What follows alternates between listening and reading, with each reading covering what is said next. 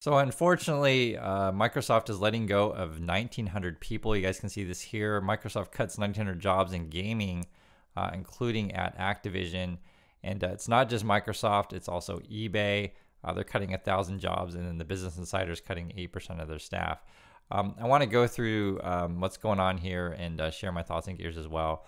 Uh, thanks for coming back. So, read the headline here Microsoft cuts 900 jobs in gaming, including at Activision. If you remember, um, Activision bought Blizzard, and then um, and Blizzard's uh, makes popular games, and then um, Microsoft bought Activision. So uh, that's why Blizzard is mentioned here. Um, moreover, it says uh, in an email to in an email to staff review by Bloomberg, Microsoft Gaming chief Phil Spencer wrote that the cuts represent about eight percent of Microsoft's 22,000 gaming workers. The quote is Together, we've set priorities, identified areas of overlap, and ensure that we're all aligned on the best opportunities for growth. Uh, moreover, let's see what eBay has to say. Uh, they're cutting a thousand jobs, reduce contractors to sharpen focus. Quote is While we are making progress against our strategy, our overall headcount and expenses have outpaced the growth of our business. To address this, we're implementing organizational changes that align and consolidate certain teams to improve end to end experience and better meet the needs of customers around the world. And then uh, this is a Business Insider, right? They're cutting 80% of the staff as part of restructuring. And um, it says here Business Insider is laying off 8% of its staff amid broader restructuring, the latest news organization to cut employees during a particularly turbulent stretch for the media industry. Um, quote, we have already begun to refocus teams and invest in areas that drive uh, outsized value for our core audience. Unfortunately, this means we need to scale back in some of our organizations. And I understand that the headlines today will be, you know, U.S. GDP grew 3.3%. Everything's great. We're all going to do wonderful, and it's a soft landing. Um, I, I, always emphasize this, right? Regardless of what national numbers say or unemployment numbers, et cetera, um, it all depends on what's happening in your neck of the woods, right? And um, if you're one of these staff that are, are getting cut, it's tough because uh, you may be in industry. So here it's like gaming news. I guess eBay, you could say it's uh, e-commerce. Um, there's a slowdown, and where are you going to go? Um, for a lot of these uh, kind of workers, I mentioned before, and we talked about this with the um, bank cuts, right? So you remember, like, say, uh, if uh, Wells Fargo is cutting their mortgage division because the area of home sales is, is down, like, where are those people going to go? Um, I mean, retail is hiring. I'm just I'm telling you the truth. Like like there's and, and it's it's not like that there's no job for these people. It's just that the job that they really want is not going to be there right? It, it's you know, do you want to go from Goldman Sachs and, and say working at McDonald's that kind of thing, or, or driving Uber or DoorDash or, or whatever? And so you know, take this stuff seriously when I when when we go through these things.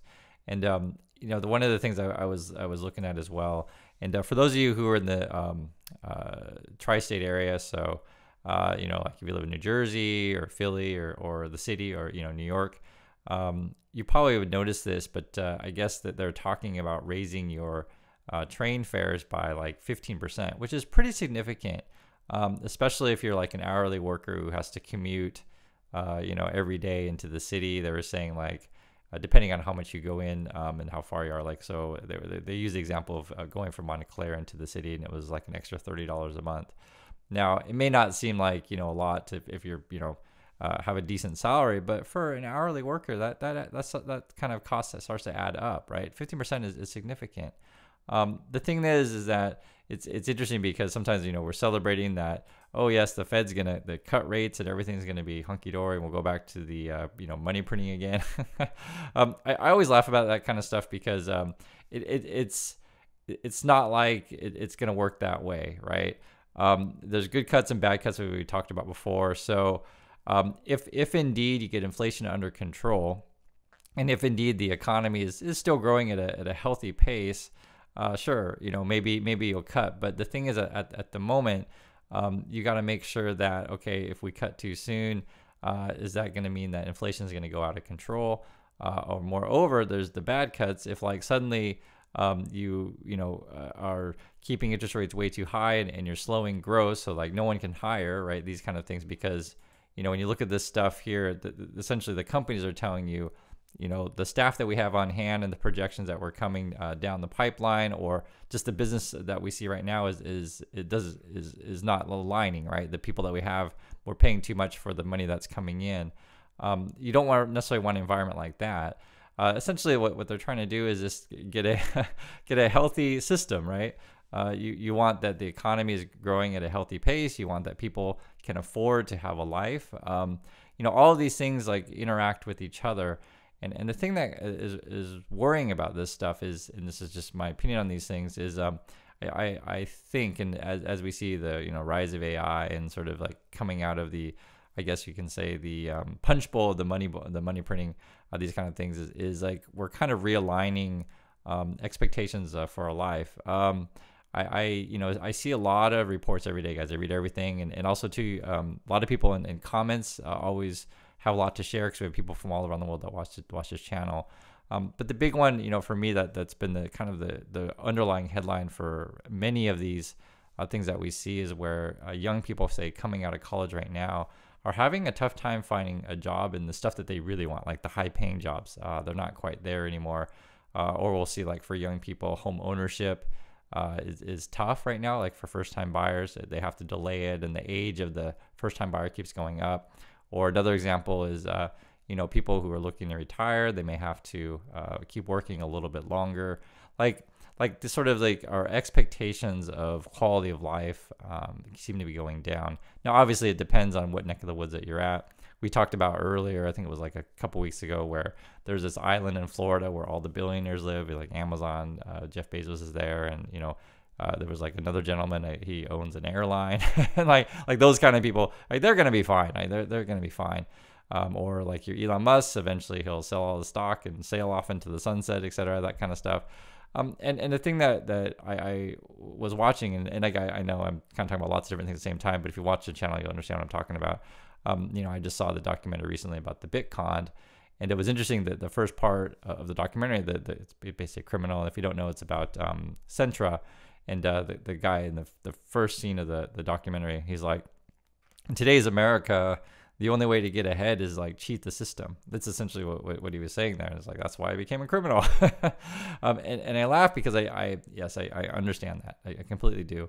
Um, and this is sort of why we, we have this sort of system that we have in place in terms of social media and things like that to where, you know, all these people are coming up with these, uh, you know, uh, do this side hustle, do this side hustle, do, do this side hustle, this, this side hustle, and that feels like for many people the only way to get ahead or gamble on crypto, etc.